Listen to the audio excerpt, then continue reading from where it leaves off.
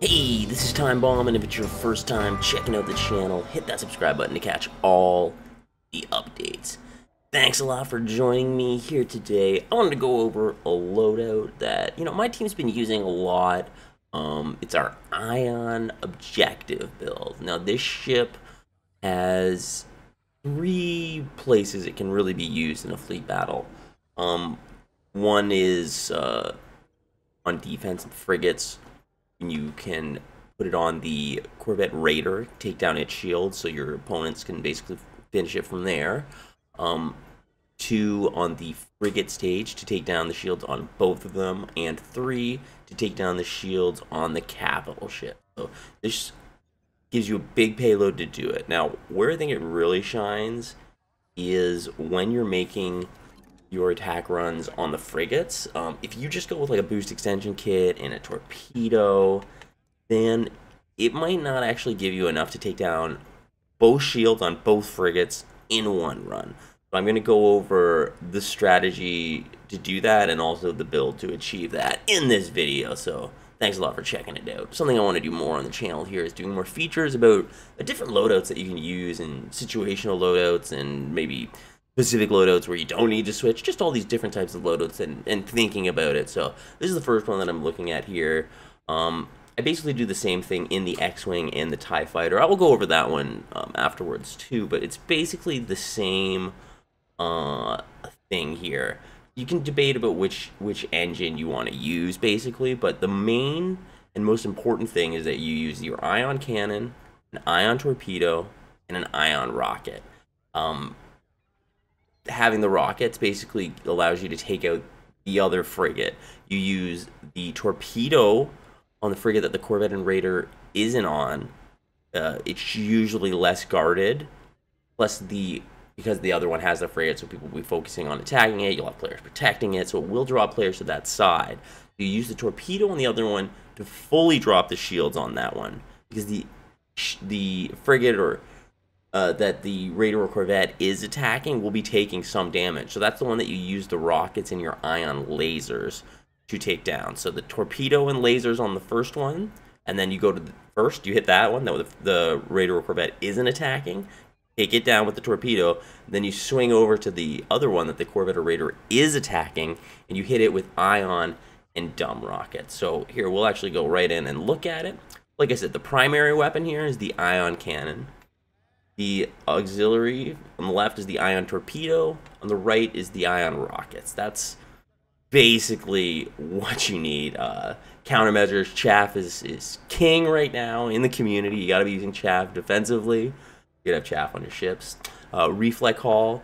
Just gives me, I mean, a lot of teams are using mask and beacon. Um, my team tended not to, so I think reflex hull, reflect hull was a must on almost all of our ships that we can have it, just to you know, all our objective ships would use it just to hide that we're coming in, gives you that little bit more safety that you can definitely, definitely capitalize on. And where there's some debate is definitely the engine that you use. I've got just the standard engine, basically the twin ion on here. Um, I was using propulsion a lot and slam engine. People are making the case for the jet engine. I think I could do a whole video on what engine to use, when and why, basically. But right now, I think for this ship, the standard engine definitely gets the job done. You really just you just need to get in, make those quick little runs on them and get out. You can really do it easily and fast. You usually won't get targeted.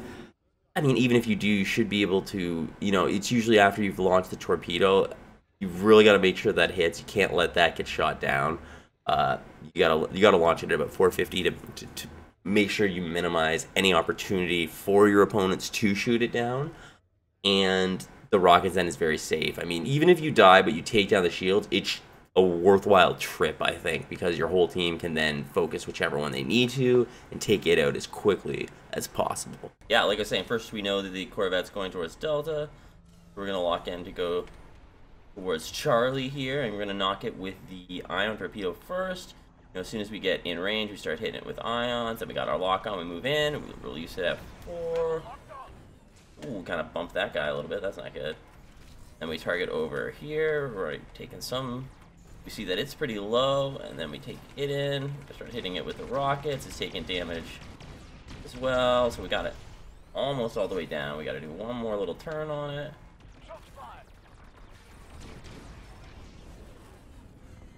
And then we gotta bail, and we got it. Almost all the way down. Now, I didn't unload enough of my payload, but you can see basically the Raider damage is going to get it down. The other one was already knocked away from the torpedo. That's the basic idea with the run. You just kind of go through it like that. Um, and basically hit the one with the torpedo, then finish off your payload on the other one to get it all the way down. You see, I still had 15 left. If I was able to get those last five off, basically, it would have fully knocked them down. But even if you get it to like, you know, 15, 20%, the Corvette or Raider is going to knock down that last little bit basically immediately afterwards. So I think it's kind of the ticket. That's basically my thinking on it. So that's the way that I do the little ion run like that. I guess I didn't nail it absolutely there, but you get the idea. Now let's take a look uh, on the other side here. We'll switch to the Republic hangar just so I can show you the other version. It's the, the exact same. Obviously, the only real difference is that you now have shields on the Republic side, and yeah, that may ch change your engine decision basically because I mean I'm going the same way standard on both, but you you can shunt to to the Powers two engine, so it always gives you kind of a quicker escape on Empire, and I'm not using a boost extension kit for this ion run, so it does limit you. Sometimes I'll do that on my Republic ships just to give myself the escapability that I feel like I have with the Empire to balance them out. But yeah, the only difference I'm using the resonant shields just to you know keep lasers fully charged as much as possible.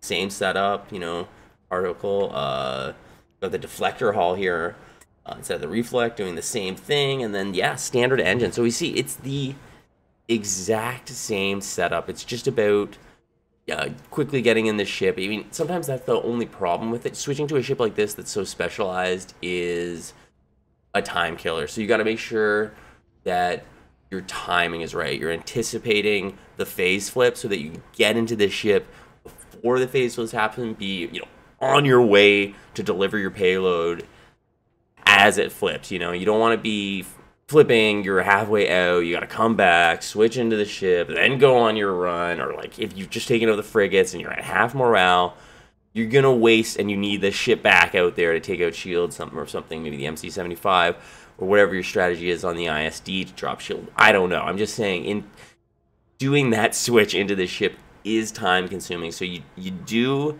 have to consider that time lost when you go into that ship. Is it effective at the jobs that needs to be done? 100%. You should definitely be able to achieve your goals if you're looking to take down shields on any capital ship with this bad boy. So thanks a lot for checking out this video. Just a quick little one, giving my thoughts on it and how I use it. So I, I just definitely wanted to put that out there. Thanks a lot for checking the video. I'm Time Bomb. You guys are awesome, and I will catch you guys later.